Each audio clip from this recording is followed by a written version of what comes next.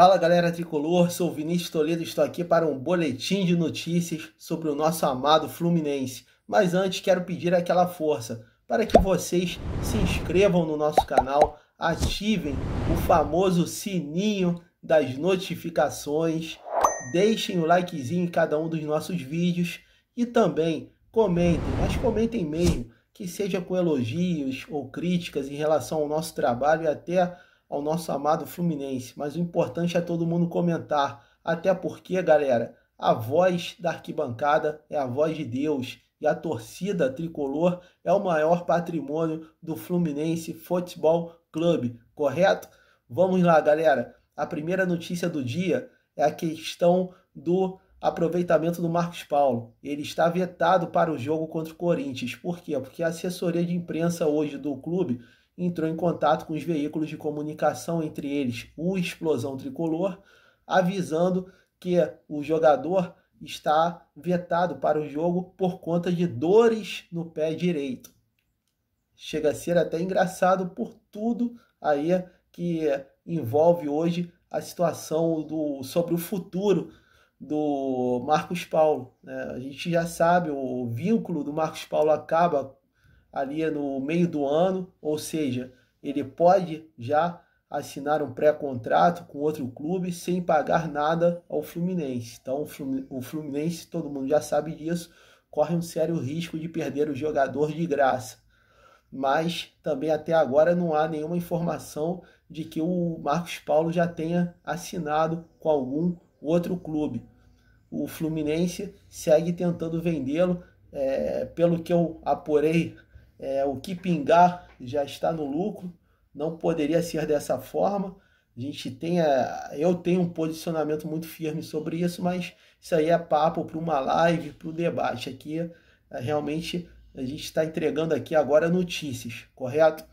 A segunda notícia saiu agora no final da tarde, também através de um comunicado do clube, de que a CBF confirmou as datas e os horários dos jogos das semifinais entre Fluminense e Flamengo pela Copa do Brasil Sub-17. O Fluminense que goleou o Atlético Mineiro no último domingo por 4 a 1, é, jogando muita bola como sempre, avançou à semifinal e agora encara o Flamengo. Primeiro jogo no estádio da Gávea, no próximo dia 15, né, na sexta-feira, às 15h45. Segundo jogo no histórico, no lendário estádio de Laranjeiras, no dia 20 de janeiro, dia do padroeiro da cidade do Rio de Janeiro, São Sebastião, às 15 horas e 30 minutos, Fluminense Flamengo. Então são dois jogos aí, um no dia 15, outro no dia 20. Anotem aí na agenda as informações sobre as transmissões aí dos dois jogos, com certeza vocês terão no nosso site Explosão Tricolor. Então, pessoal que está sempre ligado no site sabe que ali sai informação, sai link de transmissão e tudo. Então fiquem ligados aí que com certeza a gente vai estar informando tudo isso aí sobre o Fla-Flu do Sub-17, né? Os dois jogos das semifinais da Copa do Brasil, Sub-17, Sub-17 e é claro, eu sou mais flusão porque essa molecada joga muita bola. O que eu acho interessante que eu vi né, muitos jogos dessa garotada do Sub-17 no Campeonato Brasileiro, agora também na Copa do Brasil. Tem outros times até bons. O São Paulo, gostei do time do São Paulo, que o Fluminense eliminou na semifinal do Campeonato Brasileiro Sub-20. Um bom time, mas o time do Fluminense é melhor. Ontem também, Fluminense Atlético Mineiro o time do Atlético, a gente vê que tem bons talentos também, mas o time do Fluminense é acima realmente da média, em especial a galera que atua do meio para frente. A zaga ali eu acho que ainda bate um pouquinho de cabeça, falta ali mais firmeza, mas do meio para frente o Fluminense é esmagador.